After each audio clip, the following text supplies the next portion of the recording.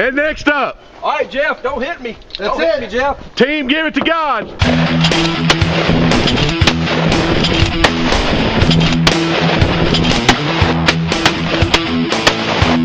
Caroline's gonna love this.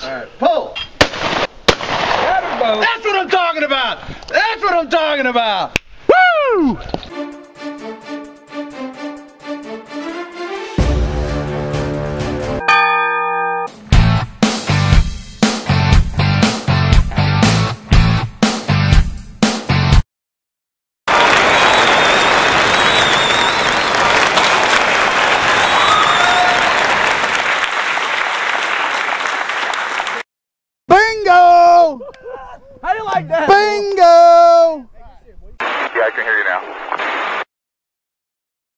The man on a mission. Give it to God. BBQ.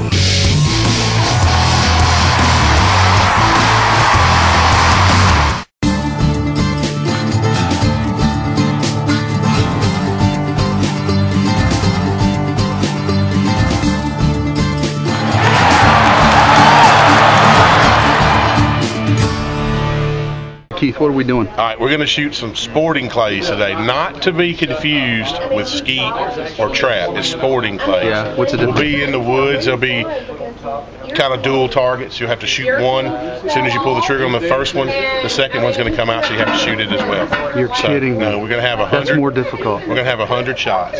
So you have a hundred chances to hit one.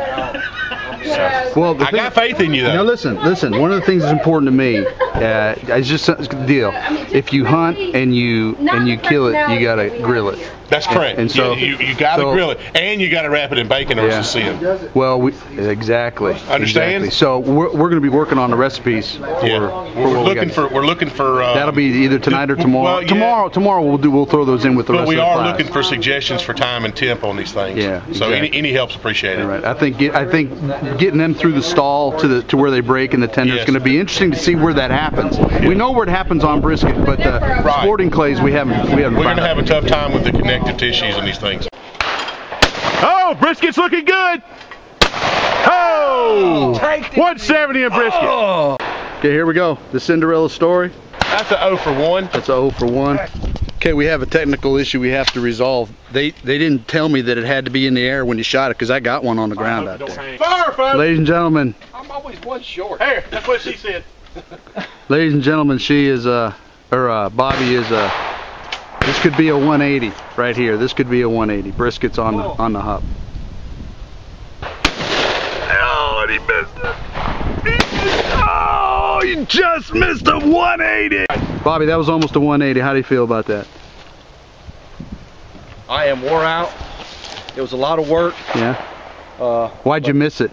You had it right in your vision right there. well, you know, sometimes the shells just don't go where you want them to go. Okay, we're on the we're on like the ninth station at 72 shots in, just like any other athlete. I'm not gonna let anybody. Oh, I can't feel my shoulder anymore. I can't let these guys know it's competition. So. Okay, Bobby, what do you think so far? Um, I think the skeet are winning. I'm just glad they're not shooting back. Have you have you given any thought or consideration as to how we want to um, cook these up? Well, I think it's going to uh, require low and slow because they're going to need a lot of tenderization. Yeah, I, I agree. Uh, but I think, uh, you know, some cheese, jalapeno wrapped in bacon, I think that's the way to go. I think so. And listen, I'm tell you what, as many as we shot, and as many as we've put down under the, just the concussion of the, the round going by it and missing it, I think we're all. If anybody goes away hungry, it's their own fault. Yeah, because, uh, yeah, they have been tenderized. Even the ones that we didn't hit, they, they Right. got scared awfully bad. Exactly. Legend, Forrest Dillmore, Forrest Fine Foods, the legend. The only living legend I know. You can race that, Jeff.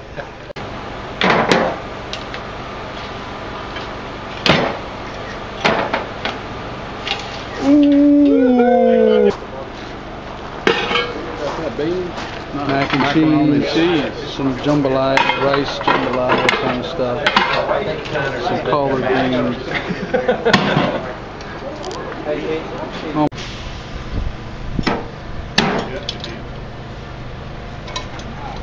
Look at that.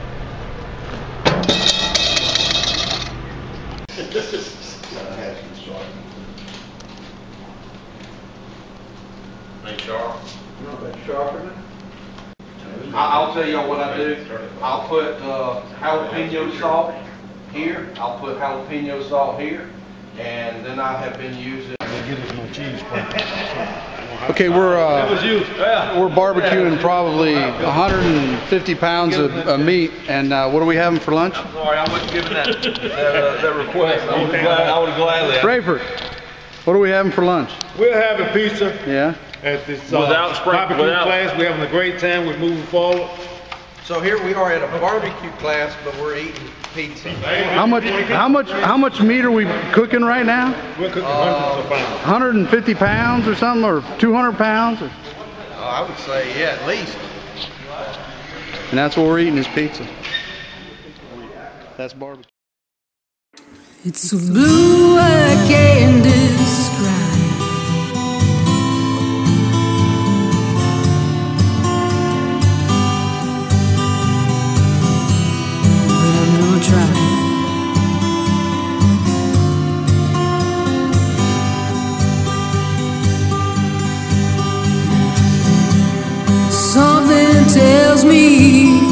it's another day to go on.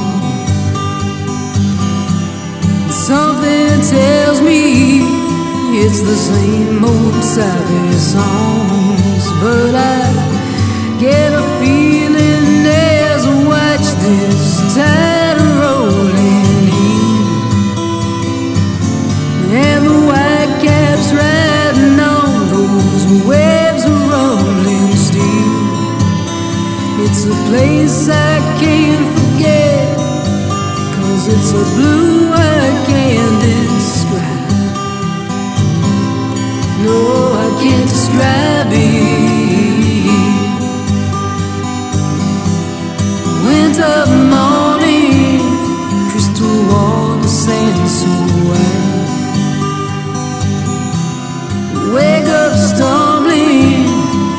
sleep out of my eyes, and I feel a memory coming on that chills me to my bones.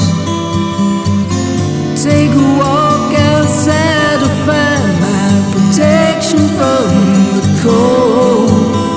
It's a place I can't forget, cause it's a blue I can't describe.